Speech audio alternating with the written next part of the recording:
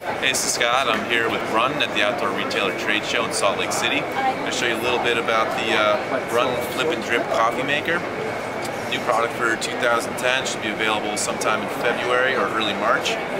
Uh, so basically what you do with this is you take the included cup off,